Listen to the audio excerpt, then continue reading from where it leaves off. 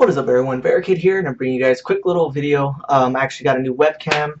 Uh, paid about like 60 some bucks for it. It's very pretty decent webcam. It's uh, the Logitech C920. Very good webcam. The only thing I would say that I'm a little disappointed with it is that I heard uh, a few people telling me that it can run in 60 frames per second. Like that's the main, one of the main reasons why I bought it. Uh, but so far I've yet to see that feature. I'm not sure if it's like something I need to do in the settings or something.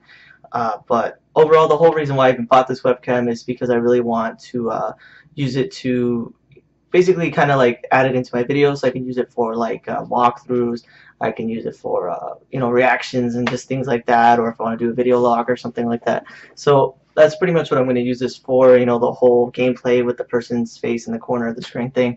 I'm going to start doing that now, and then I'm going to start doing that uh, with walkthroughs and things like that. So pretty much what I'm going to start doing now is, is that with a lot of my videos, I think with, you know, just general commentaries and things like that, I'll probably just most likely just do what I normally do, just record my voice and show the gameplay. But if it's like a live thing, like a live gameplay or a walkthrough or anything like that, pretty much I'm going to use this for uh, for that. So it's actually going to be pretty cool. Um, but all I just wanted to show you guys is the webcam that I got, uh, decent quality, very cheap price. Uh, once again, it's a Logitech C920, and I only paid like about 60 bucks for it, and it looks really good. So I'm actually really happy about it.